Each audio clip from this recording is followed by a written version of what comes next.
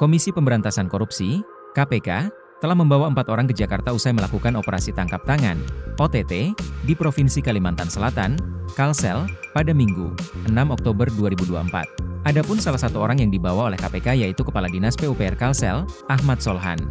Namun berbeda dengan kebiasaan KPK, keempat orang ini termasuk Ahmad Solhan langsung mengenakan rompi oranye dengan tulisan, Tahanan KPK, ketika tiba pada Senin, 7 Oktober 2024, Sekitar pukul 19.50 waktu Indonesia Barat, tak cuma itu, tangan. Mereka juga di Borgo layaknya sudah ditetapkan menjadi tersangka.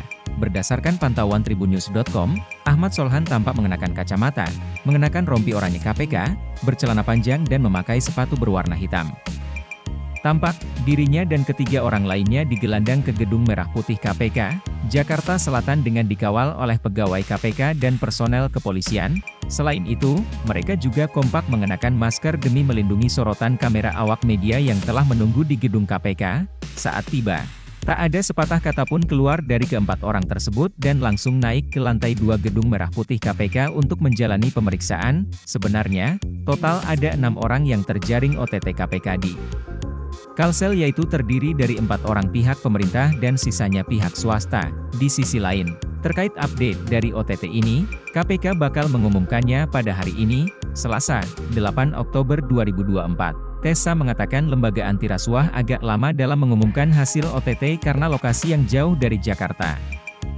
Sehingga, sambungnya, membutuhkan waktu lebih panjang untuk membawa pihak-pihak yang terjaring, OTT soal pengadaan barang dan jasa, uang 10 miliar rupiah disita. Sebelumnya, Wakil Ketua KPK, Alexander Marwata mengatakan OTT yang dilakukan di Kalsel terkait pengadaan barang dan jasa, PBJ. Alex menuturkan perkara korupsi berupa PBJ sangat sulit untuk diberantas karena belum ada solusi jitu untuk menghilangkannya.